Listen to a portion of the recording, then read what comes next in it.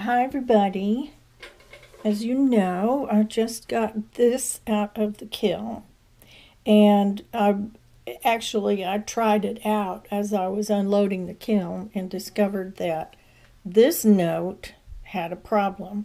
So I wanted to show you because I'm sure that this that this is something that some of you have run across uh, if you're making whistles and flutes and things um, and you don't want to throw it away because you did such a good job on it, or one of the kids did such a good job on it, and, and um, but there is very often, I mean, almost 99% of the time, I could get, if the kid had a flute that worked before it went into the kiln, and then it comes out kind of raspy, then like it did in that other video, then there is something that you can do to before you trash it. So don't get rid of it.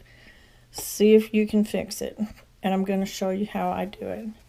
I have some little tiny, these are probably called, I don't know, jeweler's files or something. Uh, I've got a little set of files. Let me see how close I can get here.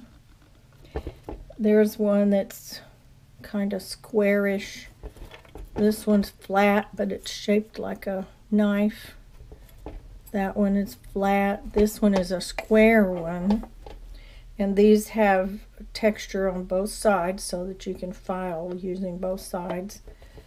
There's another, there's a round one. They're also kind of magnetized. And then here's one that's triangular shape. So uh, whatever shape you need, just about, you've got it right there. So I fiddled around with the flute, playing it, blowing through the uh, the sound hole right here, and trying to determine. I was getting clear sound on all three of these, which tells me that it wasn't necessarily this hole that was the problem. So I figured by process of elimination that it had to be this one, this one right here. So I'm going to get this very, maybe, maybe I should set it down. I'm going to get the camera real close and so you can see what I did. Take a real good look at that. Now, if you will notice, where this used to be just a flat little ring around this hole, I have built it up on one side. It is kind of like having a little eyelid. And I'm going to move it back. Kind of like having a little eyelid on that hole. Now, how did I figure out that that's what it needed? By wiggling my finger on the over the where the air was coming out I could tell that I got a better sound if I blocked the air on one side of the hole rather than the whole hole the whole thing. I know that gets really complicated but so I'll show you how I did my how I did that so as I was blowing through it, I rocked my finger, let's see, I, I rocked my finger back and forth on this little hole over here and then and discovered that if I partially closed it from this side, I got a clear note out of this one. Okay, so what am I going to do to, to partially close it?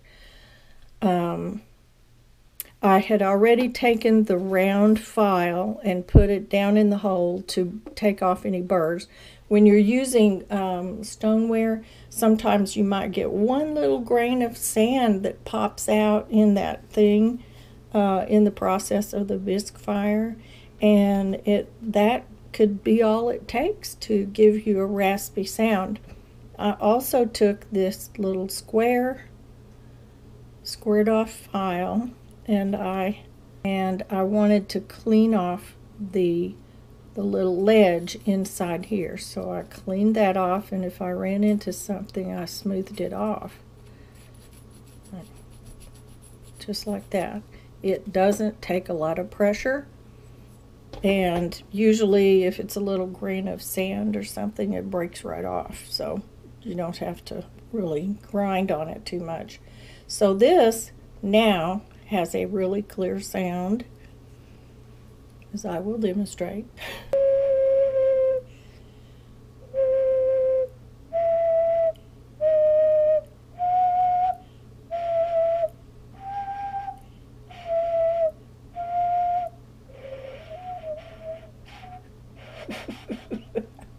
uh, I don't know how to play a flute. Okay, here we go. So take some rubbing alcohol just regular old bottle of rubbing alcohol. Let's put some on this cotton ball. You're to use a little cotton ball. And then just take the take the piece. You can do this all over it, but don't get around that little area. So you're just going to wipe off, and this just kind of cuts the grease, so to speak. So if somebody had hand lotion on, or even just their natural skin has a little bit of oil in it. You can sort of dab, especially on the little finger holes.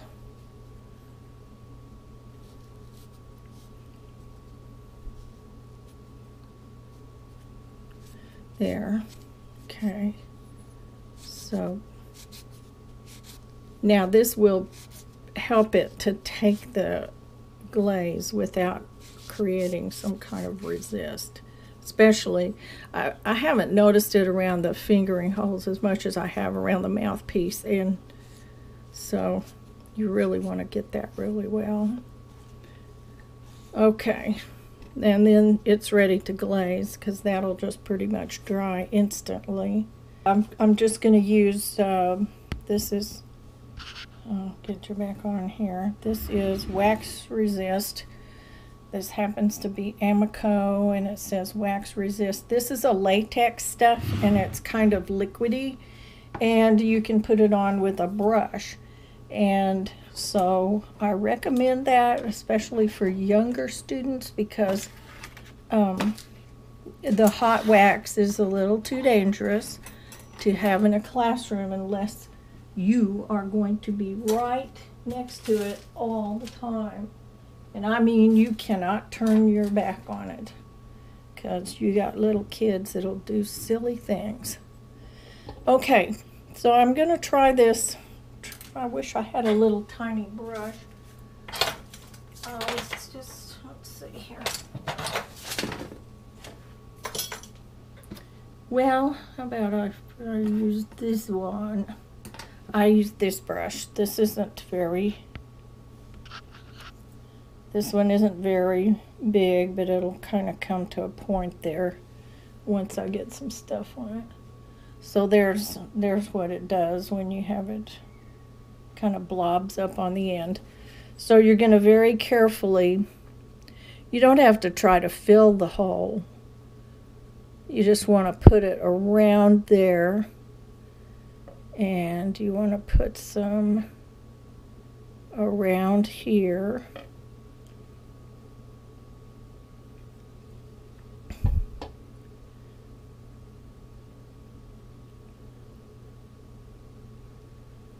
You're going to be very careful when you glaze this area because and and this comes off with water.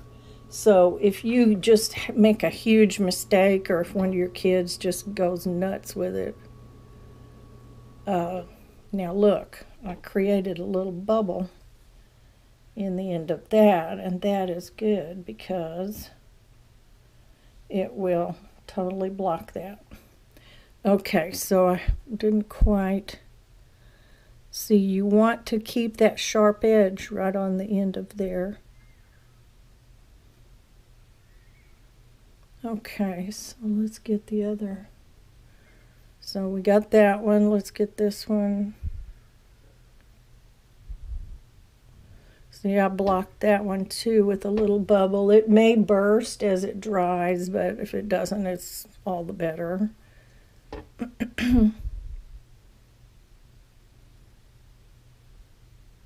okay, did the same thing there. Now, wonder if I can get lucky and do that on this one.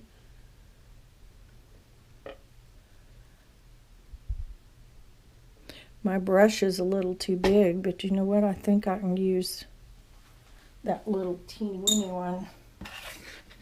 I have a just I have a smaller brush here that this might work for. And get those little hairs to stick together. And I got it partially closed. There.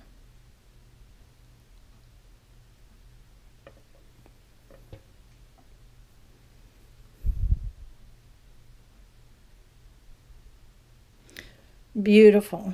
I just got that one closed up too. This one I think is a little too big to form a bubble in, so I'm going to leave it. okay, so now I'm going to give that a few minutes to dry. You're ready to go now as soon as you uh, glaze it, put it in the kiln, and don't touch it until you get it back out. This, since you're going to probably glazed all, all over the whole bottom unless you have a bead rack set up already and this is pretty heavy to put on a bead rack so I don't think I would advise that. I would put it on a tiny tiny uh, wire stilt and put, and set it on this would be considered the bottom I would just set it right on there. And then when you get it out you can sort of uh, sand off the little nubbies if there are any. Well, I'm going to use purple. I'm going to use Mayco glaze, and the reason I'm going to use this, I mean, this is a deliberate choice. Mayco doesn't run, and it's really good for students because you don't have to worry about getting your kiln shelves messed up or having any issues as long as they don't have more than three coats of of glaze on anything. So, but you don't have to, some glazes are really, really runny and some are not. This is just one of those that is not. so I like it for things like this because we don't have to worry about it. Little area right here. Unglazed. So I'm just going to go around the rim of that. Of course, we're going to, this is kind of a transparent color, so we're going to need to do more than one coat on it. Let's see. There. Now, you can get real neat about that when you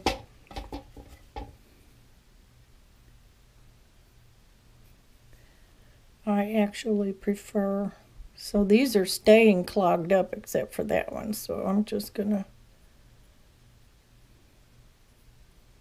go to town on it here.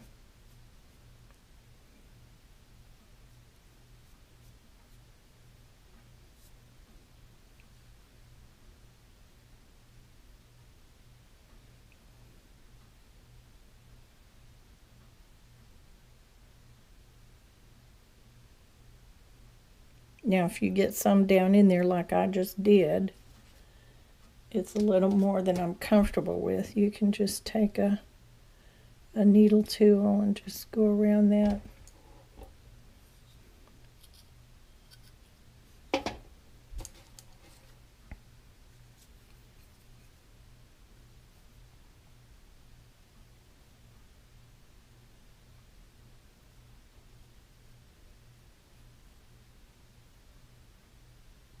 Okay, well, I just wanted to share that with you because a lot of times people are disappointed if their flute isn't exactly tuned. So now it is.